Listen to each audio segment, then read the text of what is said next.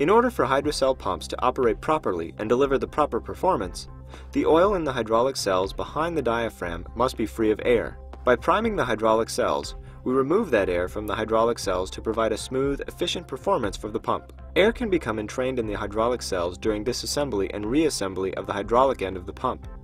Also, operating the pump with low oil level in the reservoir may allow air to become entrained in the oil. As there are some differences in the procedures, we will now describe how to prime the hydraulic cells of both Kelcell and non-Kelcell pumps. Kelcell pumps have the letter K in the fifth position of the model number. Non-Kelcell pumps do not have a K in the fifth position. Please select the appropriate priming procedure from Priming Hydraulic Cells segments on the left of the screen. Now we will see how to prime the hydraulic cells on Kelcell pumps. Please note, providing oil prime to Kelcell fitted pumps requires pressure be applied to the diaphragms. This can be done manually or with pressurized air if available. Review both methods to determine the procedure most suitable. We will now see a method for manually priming the hydraulic cells for Kelcell pumps. Make sure the hydraulic end is filled with oil before priming. With the pump horizontal and the fluid end head removed and the diaphragms installed, Fill the reservoir with the appropriate Hydra-Oil for the application. Make sure that the oil drain cap has been installed. Have a catch basin for oil that flows from behind the diaphragms when priming. Catch the oil and dispose of it properly. Do not reuse it. All air in the oil within the hydraulic piston behind the diaphragms will be forced out by turning the shaft, thus pumping the piston. A shaft rotator is included in the Hydra-Cell toolkit. Push on the diaphragm screws to keep pressure on the diaphragms while turning the shaft. Continue to check the oil level in the hydraulic end of the pump while turning the shaft.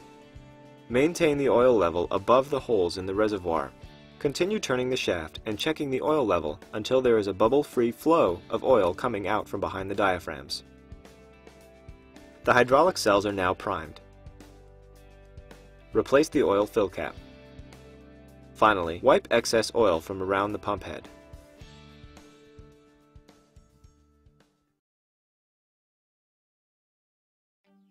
Note: This method requires that the fluid end, or manifold and valve plate, be installed on the pump prior to priming of the hydraulic cells.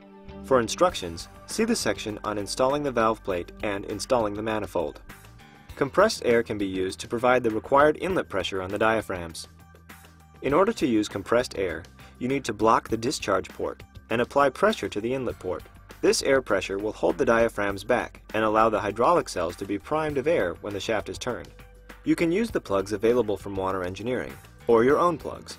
Install a plug in the discharge port of the pump. Install the plug with a Schrader air valve in the inlet port.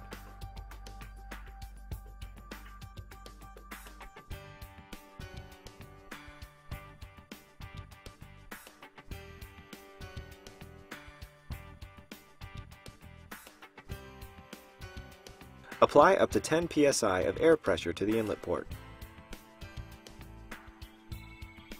Turn the pump shaft with the shaft rotator tool from the toolkit. With the oil fill cap removed, watch for air bubbles in the oil reservoir. Continue slowly turning the shaft until there are no more bubbles. Relieve the air pressure on the pump head and remove the plugs.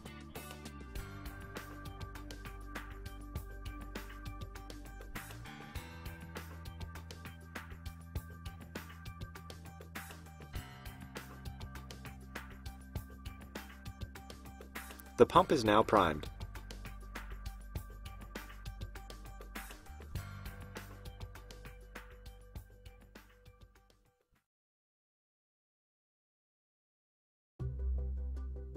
Non-Kelcell pumps do not have a K in the fifth position. With the pump horizontal, the fluid end head removed, and the diaphragms in place, fill the reservoir with the appropriate Hydra-Oil for the application. Have a catch basin for oil that is pumped from behind the diaphragms when priming. Catch the oil and dispose of it properly.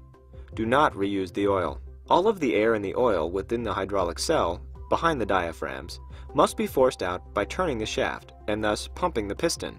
Use the shaft rotator, which is included in the Wanner toolkit.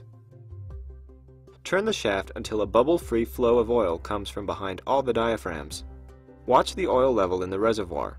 If it gets too low during priming, air will be drawn into the pistons, inside the hydraulic end, and will cause the pump to run rough and require repriming. Check to make sure that the oil is 1 inch or 25 millimeters from the top of the fill port. Replace the oil fill cap. Wipe the excess oil from the cylinder housing and diaphragms.